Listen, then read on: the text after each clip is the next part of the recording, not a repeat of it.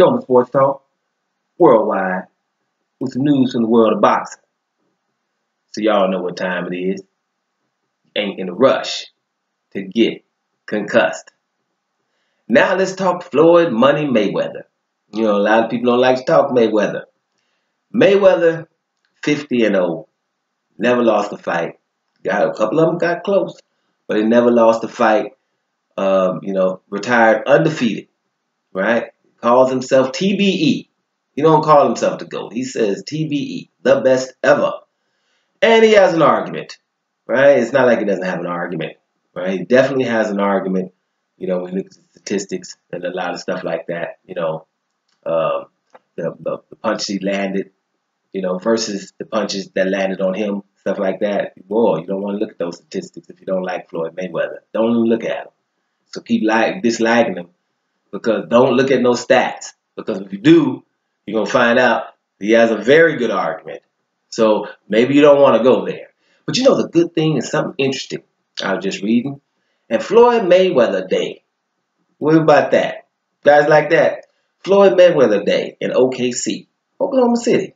Now, you know, there's no really connection there. We don't know why. But on January 17th from now on, in OKC, Oklahoma City, will be Floyd Money Mayweather Day.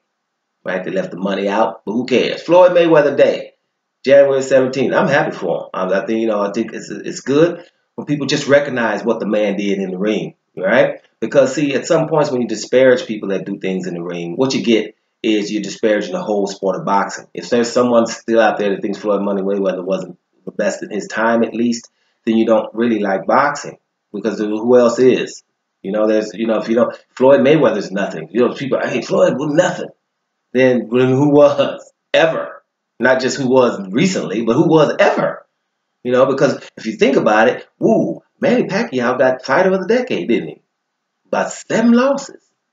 Fighter of the decade. He's going to be Floyd Mayweather. That did not happen. We wanted Pacquiao to fight Mayweather when Pacquiao didn't want to take a dope test. For example, I'm just saying, this is the guy who really who got fighter of the decade. Right? Floyd dominated that guy. Dominated that guy. You know, five weight divisions or whatever. You know, so let me just show you how good Floyd Mayweather was. I've said this before, but his last fight, what was it? 39? 38 for sure. 38 years old, maybe even 39 years old. He wasn't allowed to fight a two-time world champion in Andre Berto. That's, that's one of the stats that just showed at the end of your career, the very last fight, really, before the for, for that fight with uh, MMA guy, uh, my man Conor McGregor. Before that fight, his fight was with Andre Berto, and there was outrage. People wanted to boycott the fight, which they always wanted to do, especially uh, Golden Boy and Top Ranking them, but whatever. Wanted to boycott the fight. How you gonna fight Andre Berto? Two-time world champion, your last fight.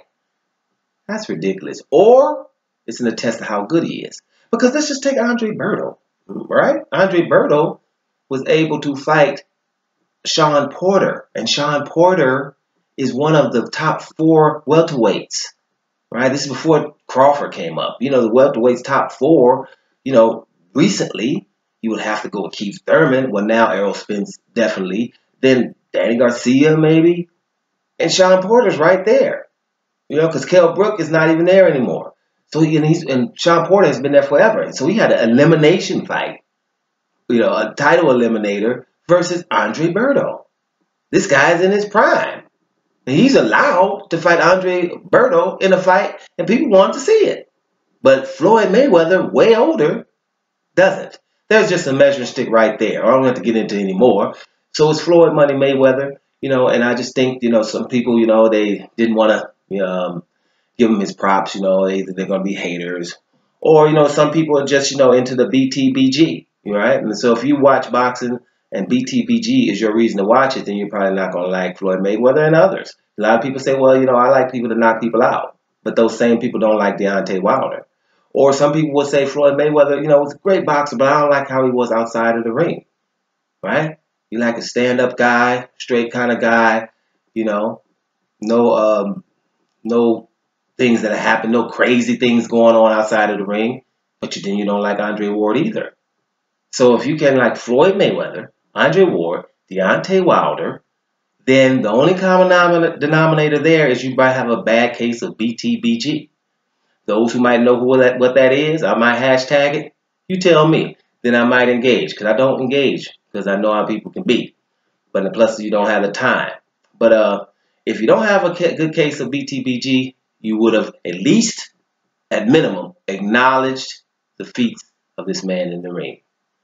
And if you didn't, who cares? Because OKC did. Floyd Money Mayweather Day without the money. Dome Sports Talk, worldwide.